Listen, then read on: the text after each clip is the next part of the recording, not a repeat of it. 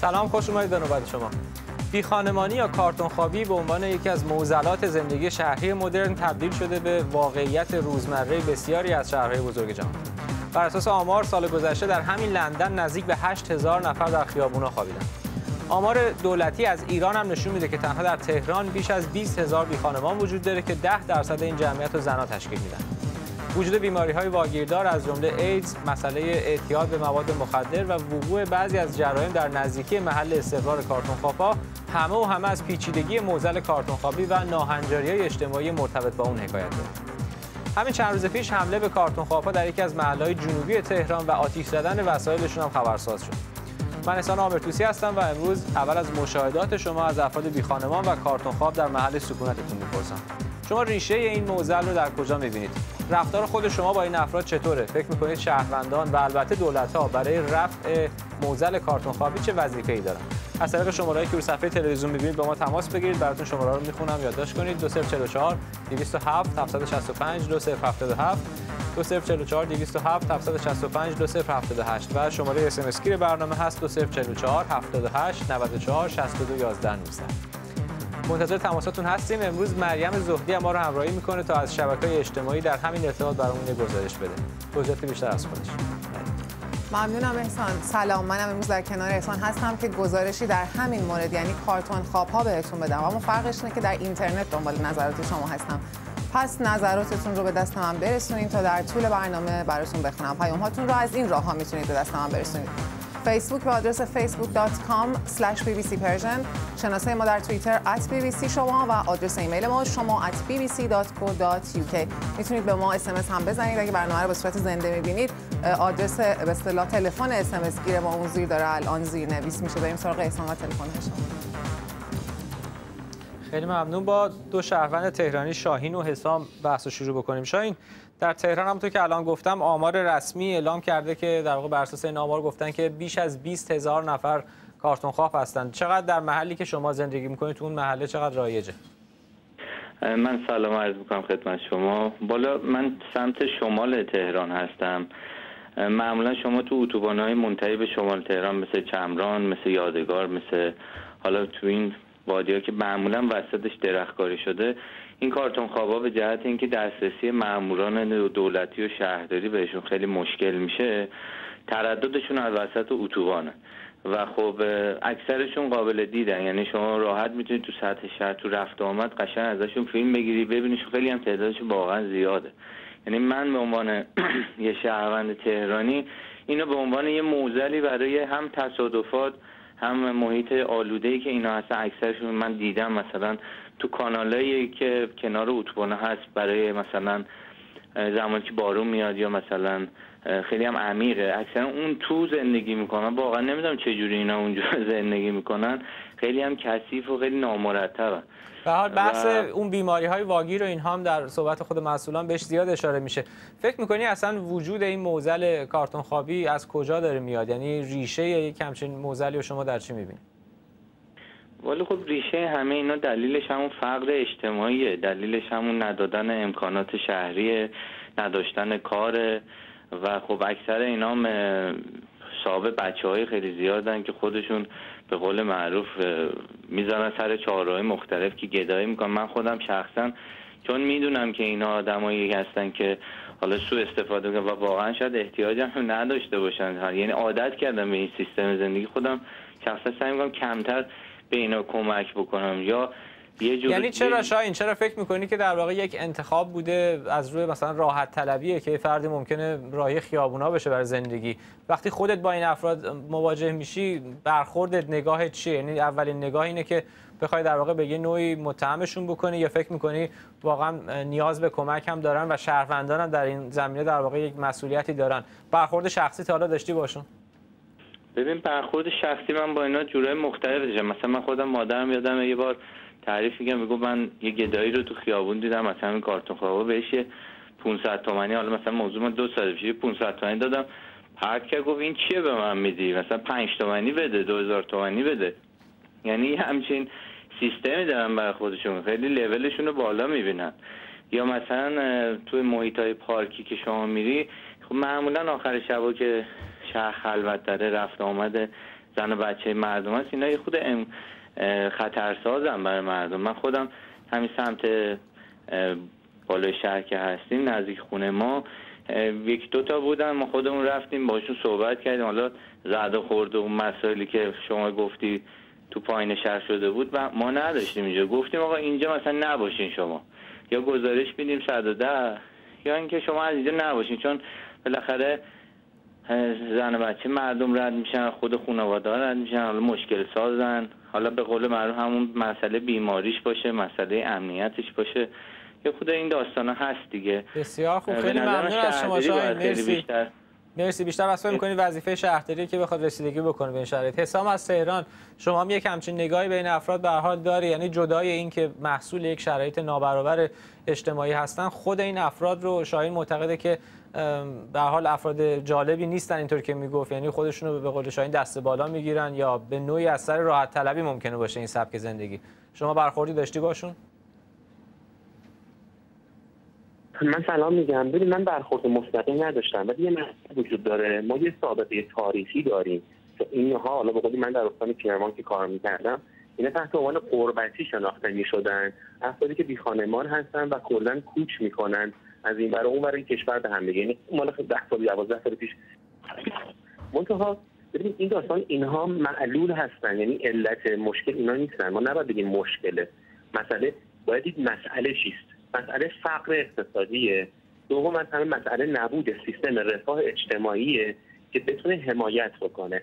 ما الان مشکلی که در تهران داریم اینه که متولی مسئله یا هوملسا یا بیخانمان ها مشخص نیست. از یک و نهاد حاکمیتی مثل سازمان بهزیستی داریم. از اون و نیروی انتظامی به عنوان نهاد نظام که باید مسئولیت امنیت رو برقرار کنه. از این و شهرداری نهاد عمومی. و بعد در کنارش هم NGO ها حالا CBO ها یا مردمی هستن که می‌خوان کمک بکنن یا اکشنی انجام بدهند ولی نمی شود یک حلقه درستی رو بین اینا برقرار کرد. ما کمیته امداد امام خمینی رو داریم و خیلی از این افراد ما دیدیم توی شهر که دارن از این صندوق ها میدوزن. حالا با اون سوزن ها با اون سیخ ها برمیدارن. فکر می‌کنی حسام وظیفه اون هماهنگی که داری میگی بین این نهادها وجود نداره وظیفه ایجاد اون هماهنگی به عهده چه نهادی باید باشه؟ طبق قانون کمیته اجتماعی یا معاونت اجتماعی در وزارت کشور وجود داره. که اون حالا در لول پایینتر در استانداری ها می‌تونه کوردینیتور این داستان باشه. مشکل ما سر اینه که اینقدر سنم داریم که شاید اینا یاسمن حساب بشه توی سیستم مسئولیتی که وجود داره. و فراموش بشه. دو آمار پایینش یعنی به نسبت اهمیت موضوع شاید باعث بشه که خب آقا این ایگنورش می‌کنن و زمستون می‌کشه برف که میاد پاییز که میشه تازه همه یادشون میفته ای وای بریم گرمخونه بزنیم یا مددیاری یا همچین اسمایی رو که صحبتشو می‌کنن. ولی راهکار داره. راهکار خیلی مشخصش اینه که آقا مشکل فقر باید یه جوری سامان پیدا بکنه.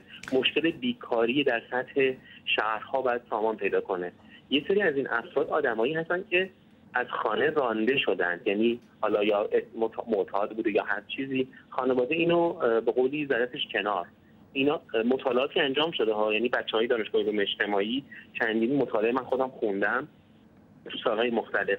ولی مسئله اساسی اینه که اینها رو به عنوان مشکل نگاه می‌کنن و هیچ راهکاری ندارن. خب حسام خیلی کوتاه یکم صحبتامون داره طولانی میشه. خیلی کوتاه چون اشاره کردی به نقش انجیو ها و خیریه ها و اینکه نهادهای مردمی هم می‌تونن در این زمینه کاری بکنن. چون دولت خودش مسئولان دولتی اعلام می‌کنن میگن که این از اون مشکلاتی که بدون مشارکت عمومی و مشارکت اجتماعی در واقع قابل حل کردن نیست. فکر می‌کنید چقدر واقعا کمک مردم و نظارت مردمی بر این ماجرا می‌تونه راه حل این مشکل باشه؟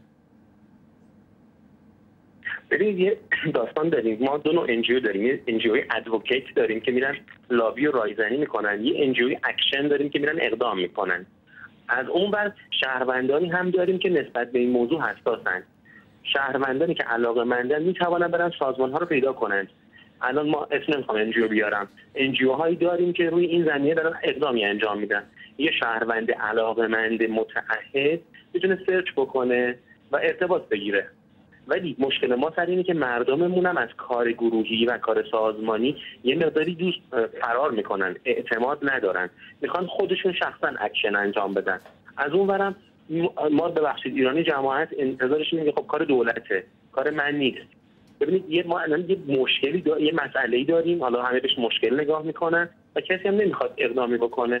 ببخشید امسال هم تموم میشه. میره دوباره پاییز سال بعد همه یادشون میفته بسیار خوب. خیلی ممنون از شما حسام. مرسی. مرسی از اینکه در این بحث هر دو نفر شرکت کردید. بریم چند تا از پیام هایی که به دستمون رسیده رو با هم مرور بکنیم. اولی رو رضا در فیسبوک نوشته از مشاهدهش گفته که تازگی ها در محله در تهران یخچال کنار خیابون گذاشتن که مردم غذای اضافهشون رو در آن می‌گذارند و کارتون خوابها از این غذاها استفاده می‌کنن.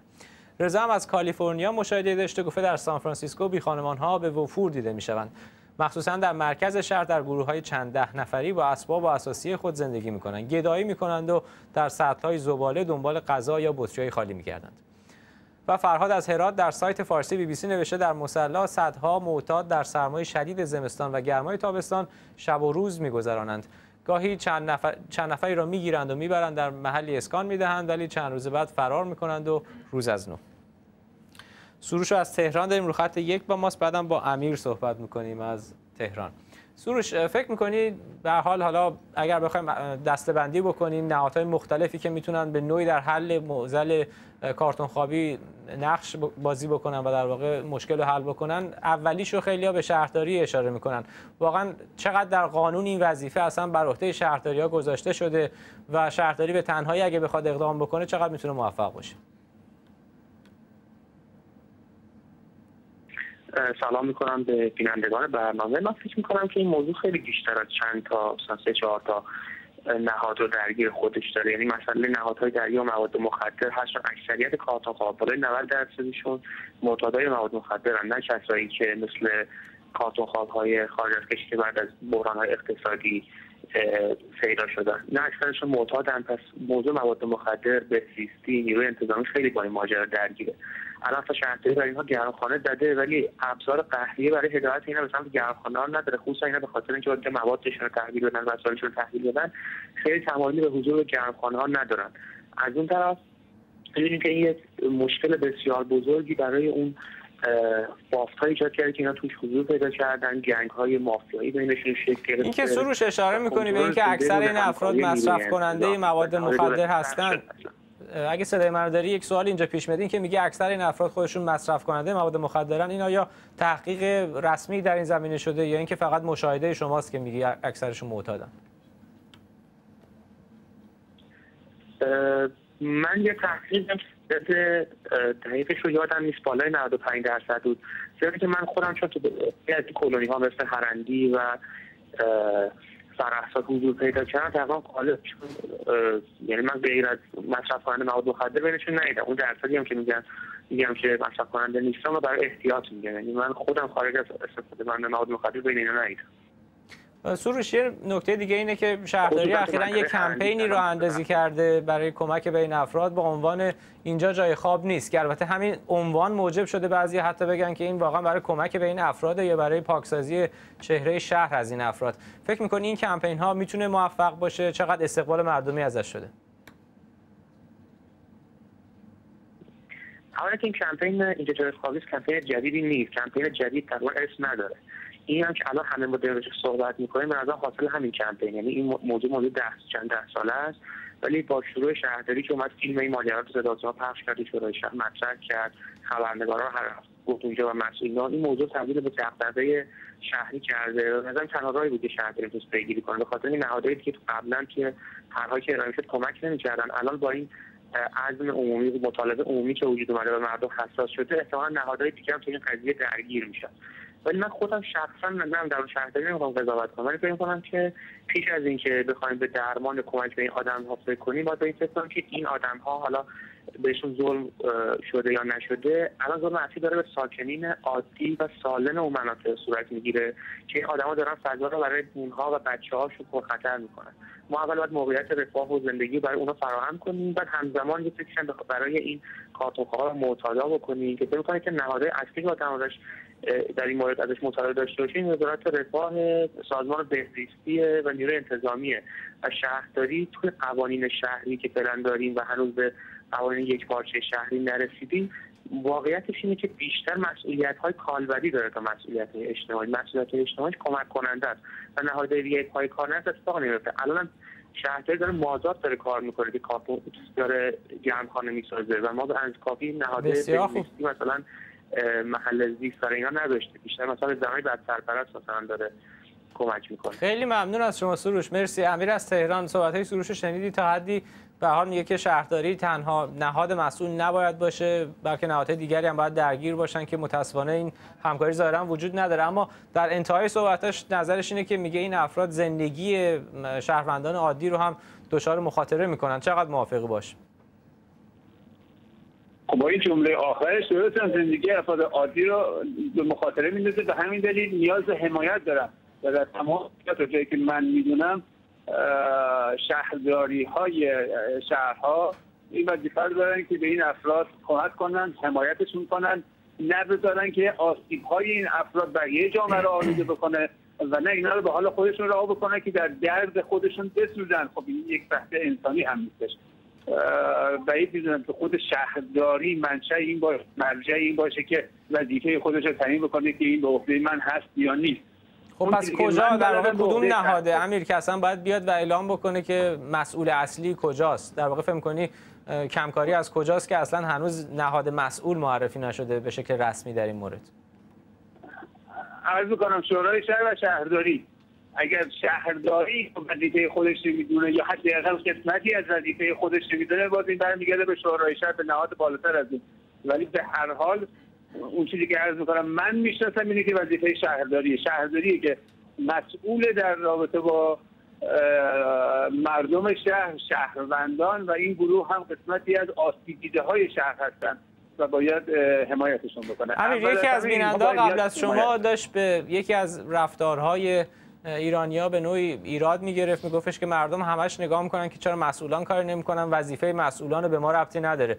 خود شما به عنوان یک شهروند حتی قبل از اینکه بخواید وارد فعالیت های انجیو ها و خیریه ها بشید اگر تو مسیری که دارید میرید خونه مثلا یه کارتون خواه ببینید برخوردتون باش چیه؟ چه رفتاری باش می‌کنید؟ خب سوال سختیه. بله این حرف قبول دارم که ما ایرانی ها به دلیل نوع آموزه هایی که داشتیم تو این مملکت کلا با کار دست جمعی آشنا نیستیم. همونجا که شما گفتید بحث انجی ها هم وارد نمیشم. ولی به هر حال مشارکت مدنی و مردمی رو کمتر داریم. و خود من هم اگر از من بپرسید بیشتر وظیفه یا تقریبا همه وظیفه رو به عهده شهرداری می‌دونم. مردم یک به دلیلی که خودشون درگیر مشکلات خودشون هستن. نمیشه گفت وظیفه مردم.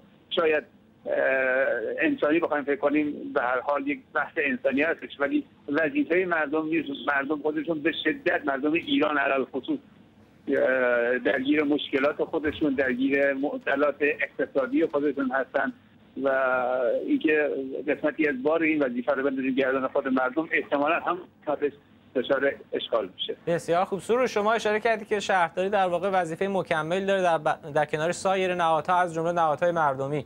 امیر دقیقا برعکس این میگه که اصلا وظیفه مردم نیست و اینکه مردم رو انقدر مسئول می‌کنه دولت این هم کار درستی نیست. پاسخ شما بهش چیه؟ من فکر امیر خیلی اطلاعی از قوانین ساختارهای کشور نداره. بله منم ترجیح میدم که شهرداری تهران مثل شهرداری لندن و نیویورک مدیریت یک پارچه داشته باشه. پلیس و اینا زیر مجموعه باشه همه کارو بتونن شهرداری پیگیری کنیم ولی واقعیتش اینه که شهرداری اصلا توانایی قانونی این کارو نداره. این کاری هم که داره می‌کنه خیلیش قانونیه و من فکر می‌کنم که هیچ چاره جزی نیست شما مطالبه عمومی ایجاد کنی و نهادهای دیگه هم پایکار یعنی وزارت بهداشت وزارت رفاه و شهرداری و نیروی انتظام همه باید با همدیگه کار کنن که این مشکل حل بشه. خب سروش خیلی کوتاه. این مشکلی که در جنوب تهران اخیرا گزارش شد. اگه صدای من داری عذر می‌خوام که تو حرفت میام چون وقت کمه. این مشکلی که اخیرا در جنوب تهران در محله دروازه‌قار رخ داد که ایده که معلوم نبود دقیقا کیان. بعدا خود شهرداری گفت از ساکنان اون محل هستن. اینا حمله کردن به کارتون خواب زندگیشون رو با آتیش کشیدن. این ریشه یک همچین رفتاری کجاست؟ همین که آیا هیچ نهاد مسئولی معرفی نشده به عنوان مسئول قانونی؟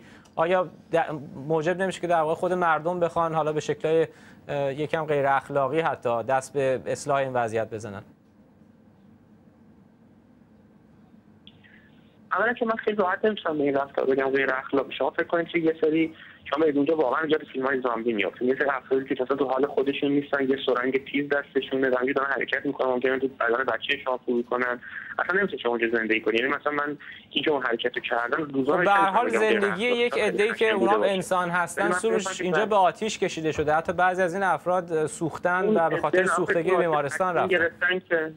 اون ببین اون عده تصمیم گرفتن که معتاد بشن و بعد به جای که برن توی یه جای خالی از سکنه مثل یه در مثل جایی اومدن وسط یه بافت مسکونی که من داشتن زندگی می‌کردن حالا زندگی اصلا پر خطر کردن نظام هیچ کاری نکرده و بهزیستی و شهرداری و روی هم نتیستن خیلی کاری از پیش ببرن.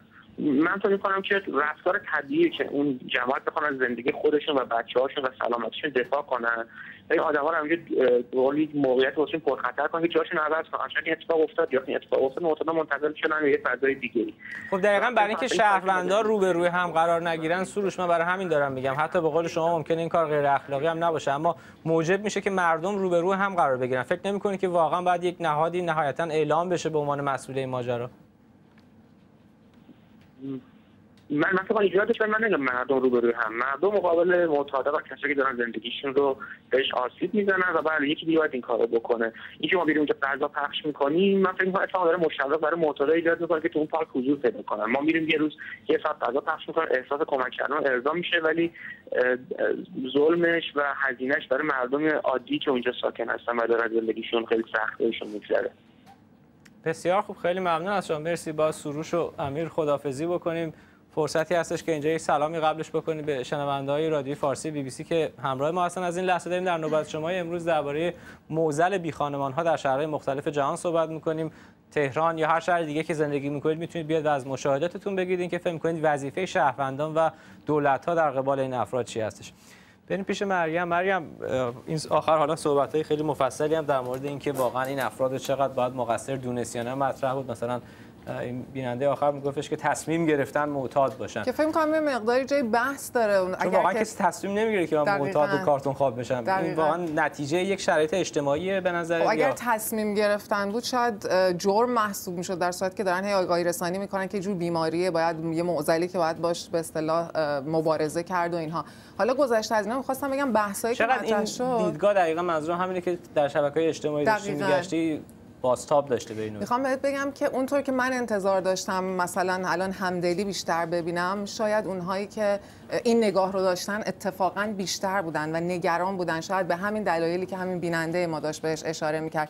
یه عده هستن که شاید بیماری های عفونی مختلف دارن بیماری های واگیردار یا مثلا همون سرنگا دستشون هست و نگران هستن مردم از اینکه توی محله که دارن زندگی می‌کنن خانوادهشون در معرض آسیب باشن. نمونه های از این اظهار نظرها دارم که مثالش رو خواهم گفت. ولی اصلا کلا مسائلی که من خواستم باز بکنم بیننده های ما خیلی سریع باز کردن و بهش اشاره کردن. به این ماجرای کارتون خواب ها که نگاه می‌کنی خب به نظر من 100 درصد نمیشه گفت که همه اینها معتاد هستن و مریض هستن. یه دشون هم خب مشکل مالی دارن مردم هم حتی نوشتن که سری به خاطر فقر مالی به این روز افتادن. به همین دلیل هست که شاید تو شهرستان ها کمتر می‌بینن. یه بحثی هستش که الان باز صحبتش شد کمپینی که شهرداری را انداخته ولی در مقابل سازمان های مردم نهاد هم دارن یه کارایی می‌کنن. از همه اینا می‌خوام براتون گزارش بدم. استاندار تهران گفته که موقعی که صحبت کرده با خبرگزاری فارس قول داده که تا دو سه ماه دیگه این خودش مال حدود یک ماه پیشه. قول داده که با تا دو سه ماه دیگه چهره شهر رو از کلا کارتون خواب ها به اصطلاح آری بکنه خالی بکنه چهره شهر رو بهتر بکنه. میگه ما اول یک امکاناتی که داشتیم برای نگهداری 400 نفر از معتادان و کارتون خواب ها بوده. که همونطور که می‌بینیم معتادان میگه کارتون خواب ها رو هم میگه همه رو با هم یه جا یک کاسه نمی‌کنه. ولی الان وضعیتی هستش که ما هول و 3000 نفر رو می‌تونیم اسکان بدیم بهشون رسیدگی بکنیم و امیدوار هستیم که بتونیم این رو بیشتر بکنیم و در ماهای آینده کلا چهره شهر رو تعدیل بکنیم و باز اشاره کرده که باز ارگان های مختلفی مثل همین بینندمون قوه قضاییه دادستانی بهزیستی و نهادهای دیگه دستن در کار هستن. هر کسی خود این کار چقدر در مسئول نگه داشتن؟ اون افرادی که به قول تو معتادم نیستن فقط به خاطر فقر اقتصادی شاید تو خیابونا هستن. کمک می‌کنه. برای اینکه بودن در اون محیط پرخطر کنار افراد معتاد می‌تونه اونا رو به نوعی درگیر بکنه. دقیقاً. از اون طرف اینو گفتی من یادم افتاد که به این نظرات هم اشاره بکنم. اون زیر عده اومدن گفتن که کاش که فقط وعده ندین کاش کار ریشه ای بکنین. یه دیگه هم باز دوباره از نگرانی هاشون گفتن که ما مشکل خانواده هامون هستش. این مسئله بر خانواده هامون مشکل ایجاد می‌کنه. بعد یه دیگه اومدن گفتن این کاری که شما می‌کنید باعث میشه که این کارتون خواب ها سوق پیدا بکنن به حاشیه های شهر یا به کانال ها پناه ببرن. مخصوصا وقتی که هوا سرد میشه. برای اونها می‌خواید چه بکنید؟ که البته گرمخانه هایی رو هم اختصاص دادن به این مسئله. این اکانت به اصطلاح حساب شهرداری تهران در توییتر هست که اینجا داره میگه که سه هزار نفر از کارتون خواب های تهرانی رو اسکان داده و تبلیغ کرده از کانال تلگرامش اونجا هم همین رو مطرح کرده. رسانه های مختلف سایت های مختلف به این کمپینی که ما هم الان صحبت کردیم اینجا جای خواب نیست اشاره کردن و این اطلاع رسانی داره می‌کنه این اکانت توییتر. عکسی گذاشت که من عکس رو می‌خواستم نشون بدم. یه سری وایسادن از اهالی اون محله که کارتون خواب ها توش جمع میشن. گفته ما اهالی محله شهید هرندی خواستار آرامش و امنیت خانواده خود هستیم. باز تاییدیه بر اون دیدگاهی که الان شنیدیم. ولی این کمپینی که راه انداختن انتقادهایی هم داشته. این همون یخچالیه که باز دوباره توی نظرات که میخوندی بله. بهش اشاره کردی.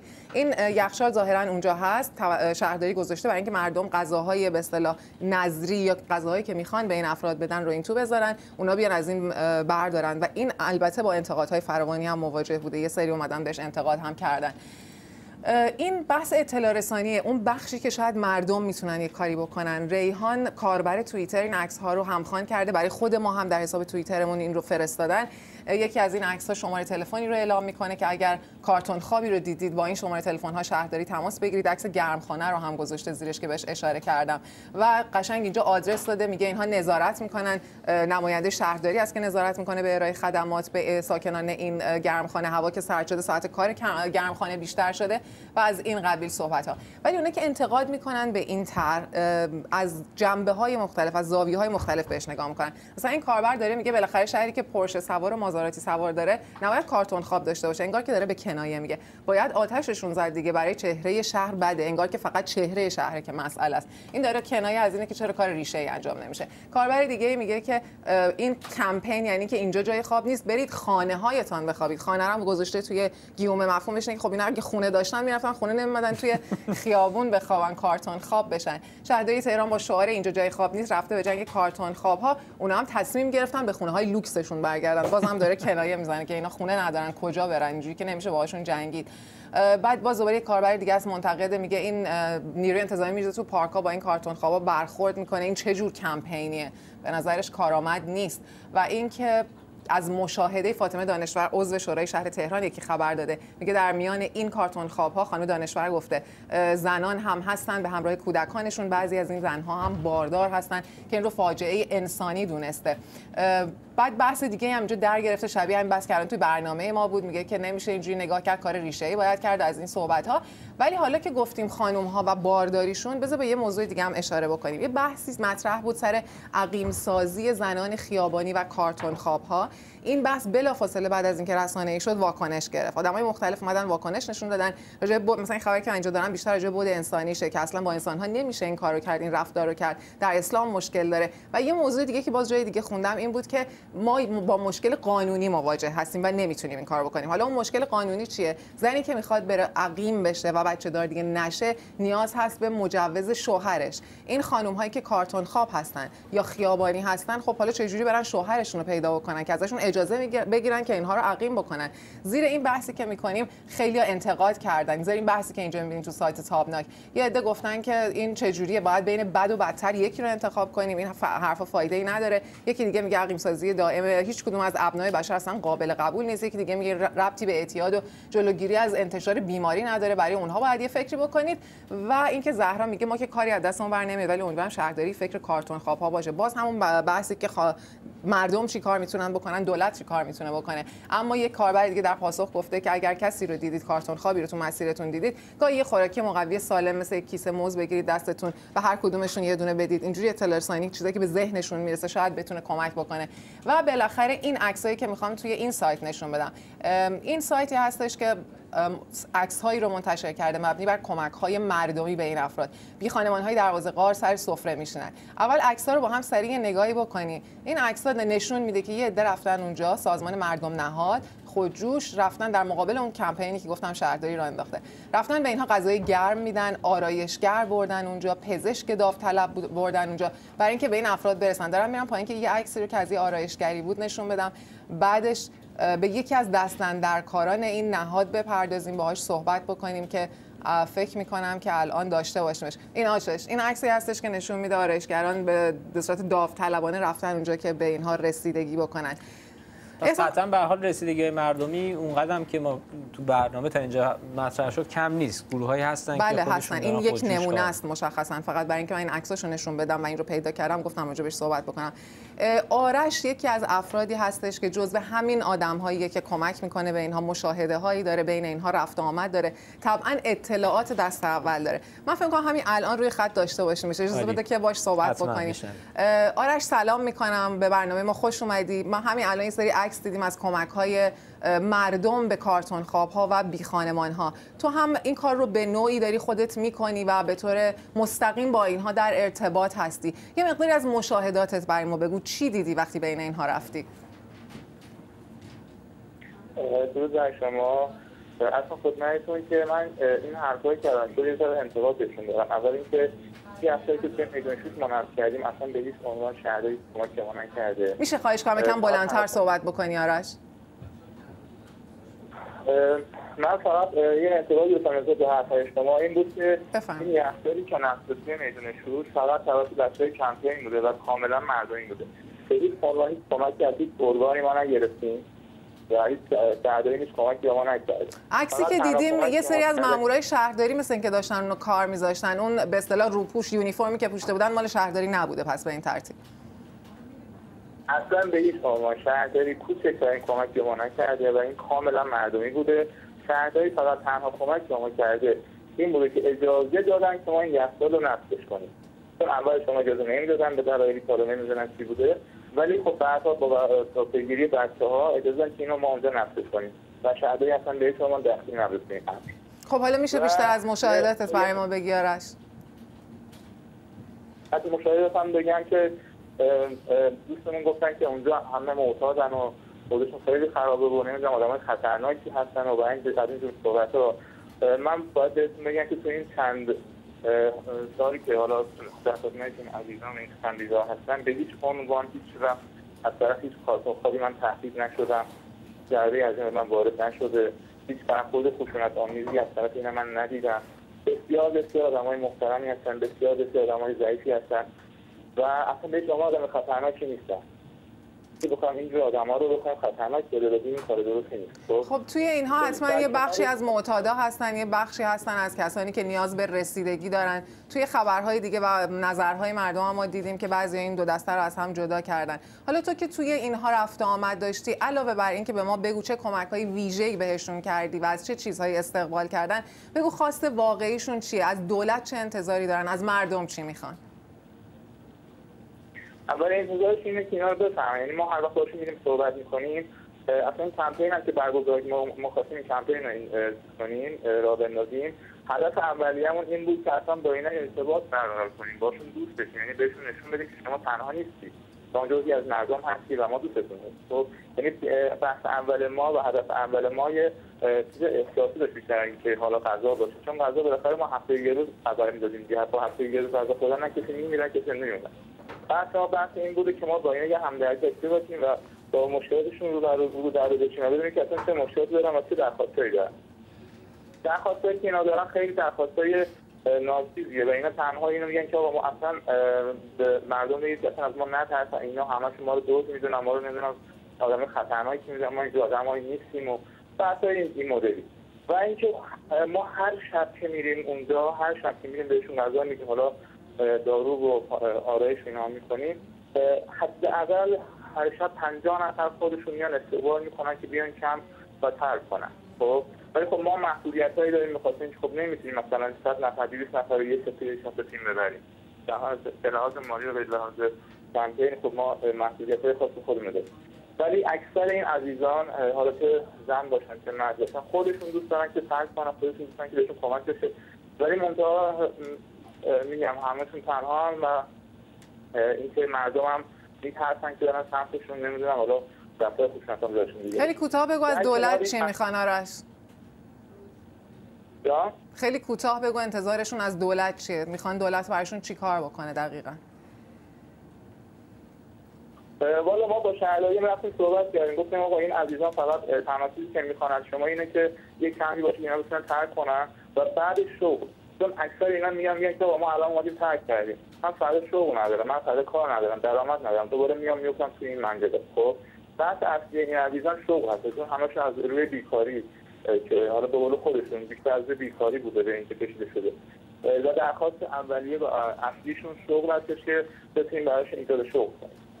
متشکرم. ممنون از تو که شرکت کردی توی برنامه ما. احسان اینجا معطلت کردم به عنوان حسن ختام این بخش از برنامهمون. اجازه بده من این عکس رو نشون بدم که به همین کمپینی که الان آرش اشاره می‌کرد اختصاص داره. پایان کارتون خوابی ظاهرا لباس های دست دوم و اون چیزهایی که مردم نیاز ندارن اینجا میارن که به کارتون خواب ها و بی خانمان ها بگن. بدن. از از اینجای برنامه بعد منتظر نظرات مردم هستم که در طول برنامه براتون خیلی. ممنون. بر من که اکچولی استراحت بود بیشتر در واقع. نشستم استراحتم کردم. ممنون. مرسی. خب بریم ببینیم که دیگه کیو داریم. منوچهر از تهران با ما تماس گرفته بعدم با علی از تبریز صحبت می‌کنیم. منوچهر تا حالا خودت آیا هیچ مشاهده ای از این افراد داشتی؟ کسانی که بهشون کارتون خواب میگن یا بی خانمان های شهر خودتون تهران؟ من سلام عرض می‌کنم خدمتتون. مختصر زیاد نمی‌خوام توی این مرتله باز بشه این حرفی که می‌خوام بزنم. ببینید من خودم با اینا زندگی کردم. تو خود با اینا بودم. اولا که این که فکر کنید این آدم های خطرناکی هن آدم که مشکل سازن. اصلا اینجوری نیستن. من یازده سال خودم گرفتار اعتیاد بودم. الان نزدیک به دو سال سالمم. اینا بدبختیشون یکی دوتا نیست. بدبختی اینجاست. ببینید الان شهرداری اومده یه چیز سمبولیکی یه چیزی رو کمپینی را انداخته. ولی مشکل این نیست. مشکل اینجاست که این آقا رو میاد می‌گیره اینجا می‌بره. شما حالا مشاهده نکردیم من دارم تهران زندگی می‌کنم. به جاهایی که این افراد هستن نزدیکم می‌بینم. با چه بساتی اینا رو دارن جمع می‌کنن. بعد می‌برن اونجا. آی مثبت و بدبختی میاد. این آقا ترک می‌کنه. سه ماه چهار ماه. من الان 20 ماهه. ماشین سنگین داشتم فروختم از این دست. همین مسئله. جدا شدم. خب منوچهر نمی‌تونم اشاره کردی که خودت بین این افراد بله، یه من دوره رفت آمد داشتی. موندم. بیشتر بیشتر. چه جور بله. آدمایی هستن این افرادی که کارتون خوابن یا توی پیاده روها و من- معابر عمومی زندگی می‌کنن؟ یه چیزی به شما می‌خوام بهتون بگم. من رفتم توی جایی این مسئله رو ترک کردم کمکم کردم. اونجا مشخصاتی رو که عنوان کردن افراد دلسوز افراد با محبت افرادی که به هم نوع خودشون اینا همه انسانن. من زنگ زدم صحبت بکنم فقط به خاطر این. فکر نکنید اینا نمی‌دونم از کرات دیگه اومدن یه چیز دیگه ای هستن. همشون انسانن. انسان های با محبت انسان که اگرم اگرم کاری می‌کنن اگرم خلافی می‌کنن از روی ناچاریه. حتی ببینید مثلا اینجاست 20 درصد 15 درصد اینا کارتون خوابه. یعنی جا ندارن زندگی ندارن. خب اون عاملی که منو چرا اصلا باعث شده این افراد بیان به خیابون چی بوده؟ با توجه به اینکه میگی مشاهده شخصی داشتی ازشون. چاره ببینید مسئله همینه. خانواده ترد می‌کنه. دور اطراف ترد می‌کنه فامیل ترد می‌کنه. اکثریتا بچه شهرستانن. از شهرستان اومدن جایی ندارن. اون جایی هم که داشتن از دست دادن یا جای کار می‌کردن به خاطر اعتیاد یا مسئله دیگه انداختن بیرون مونده تو خیابون. هیچ کاری نمی‌تونه بکنه. نمی‌تونه برگرده نمی‌تونه بمونه. این موزلی هم که هست. جامعه ما الان مشکلاتش هزاران هم. چرا؟ به خاطر میگم من الان بچه دارم. یه بچه می‌خوام بفرستم بره یه استخ باید 20 هزار تومن بدم. در صورتی که کنار خیابون با 5 تومن می‌تونه مواد رو تهیه کنه. این بدبختی جامعه ما جوون ما تفریح نداره. جوون ما نمی‌دونه چی کار بکنه. الان اعتیاد من چون دارم میرم میام. از بهسیستی خبر دارم. زنا دخترها دو برابر و نیم شده.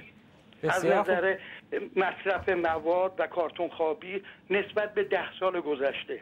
خیلی ممنون از شما. قدر... مرسی از اینکه به حال با ما تماس گرفتید. علی از تبریز. علی در شهر شما چطوره تبریز هم این موزل کارتون خوابی درش رایج زیاد می‌بینید افراد بی خانمان یا خیر. منم سلام عرض می‌کنم خدمت شما و تمامی بینندگان برنامهتون. خوشبختانه در تبریز ما این پدیده در واقع زشت اجتماعی رو نداریم.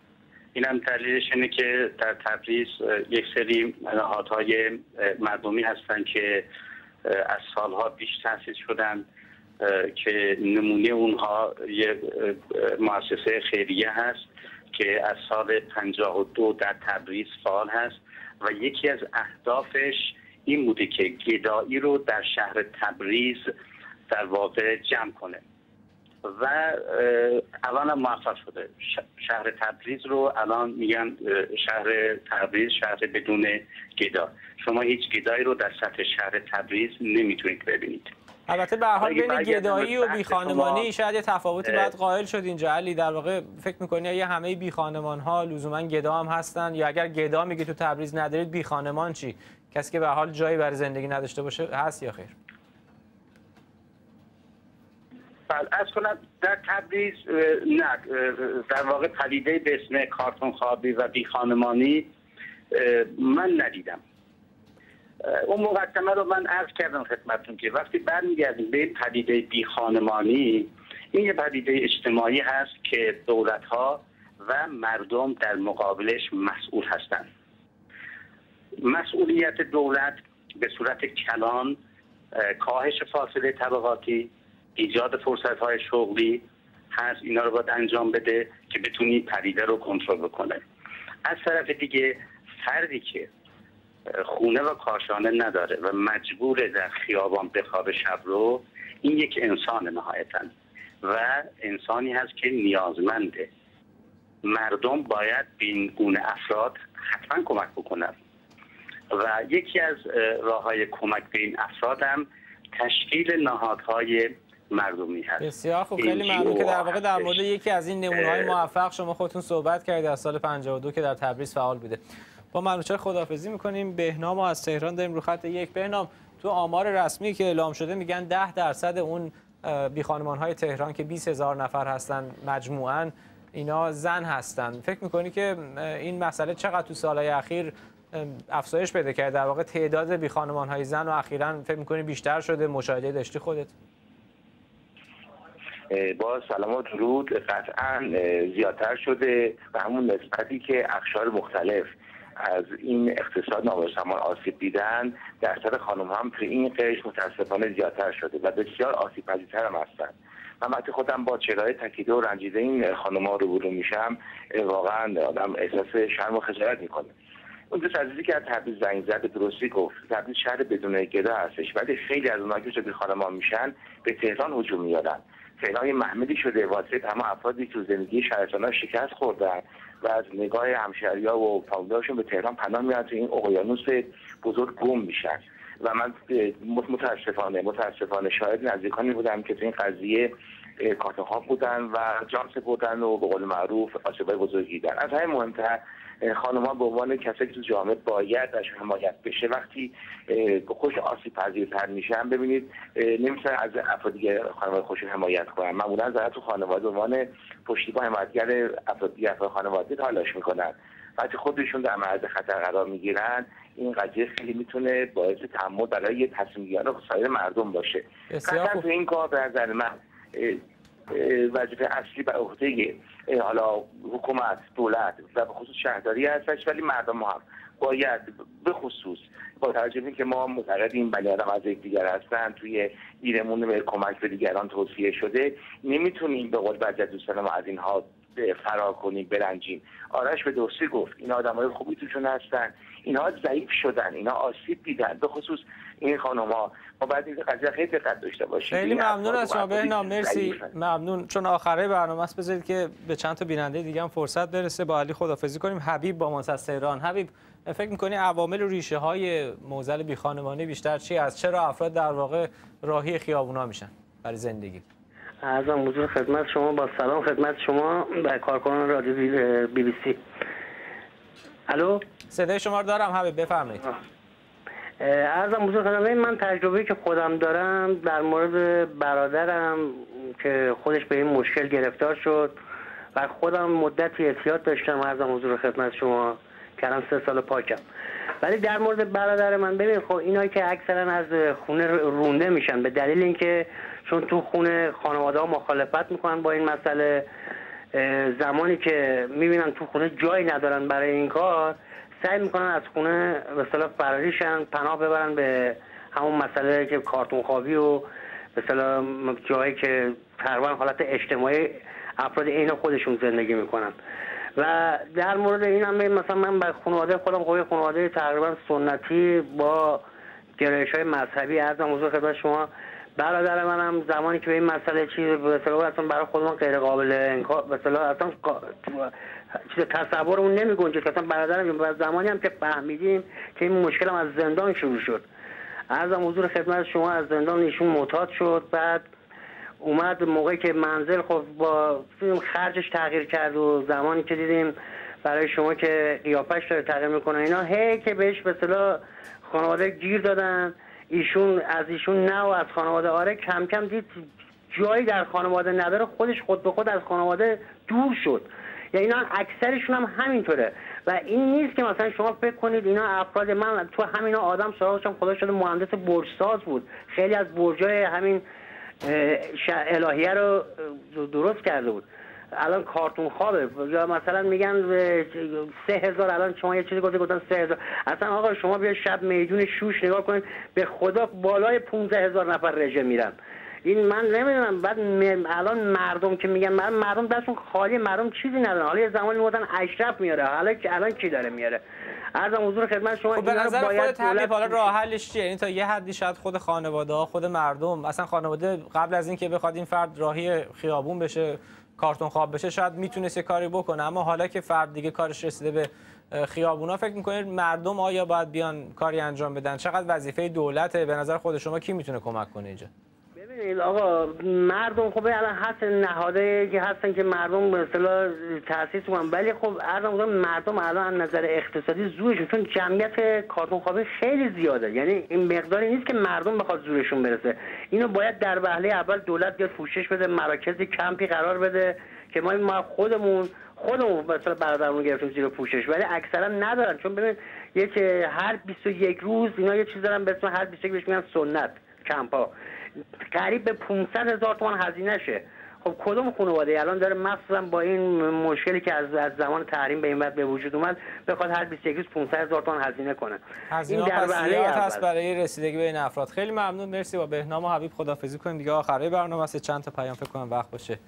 مرسی احسان پیام ها زیاد از ایمیل ها بگم که میسم میگه من تجربه زندگی هم در لندن رو دارم هم در تهران. شاید یه عده بگن چون دولت حمایت نمی‌کنه در تهران بی خانمان زیاد شده. ولی در شهری مثل لندن که سیستم خدمات اجتماعی رایگان وجود داره. دولت خونه میده حقوق بیکاری میده. باز هم با این حال بی خانمان ها رو در سطح شهر زیاد میشه دید. پس این مشکل هم یک مشکل فردیه به نظرش هم یک مشکل اجتماعی. میگه بعضی از روی اجبار از خونه رونده شدن. بعضی هم این سبک زندگی رو دوست دارن. برخورد داشته در تهران با بعضی از این افراد که میگه که از اونها اصلا پزشک متخصص بوده. و آخر سر هم یک روز در برف در خیابون از دنیا رفته. بیننده دیگه میگه در بندر عباس هم این پدیده دیده میشه.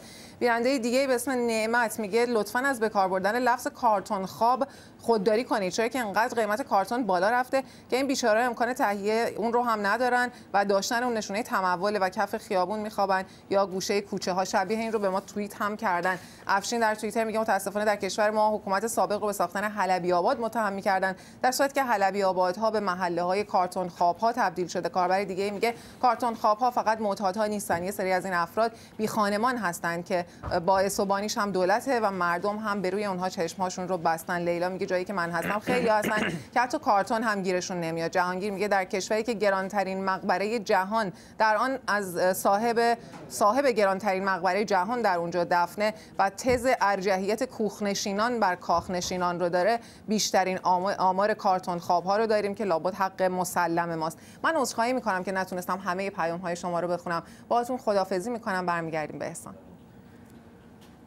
خیلی ممنون مریم. مرسی به پایان برنامه. می‌رسیم اگر موضوعی هست که می‌خواد پیشنهاد بدید به آدرس ایمیل ما ایمیل بزنید که هست. شما at bbc.co.uk تا فردا شب و روز خوش.